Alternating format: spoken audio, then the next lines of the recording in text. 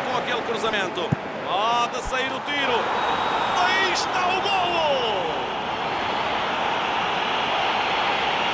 Conseguem uma vantagem de dois golos. Não perdeu tempo, recebeu e disparou para a baliza. E faz o hat-trick. Ele está com o verdadeiro toque de Midas. Sempre que a bola vai ter com ele, o golo pode acontecer.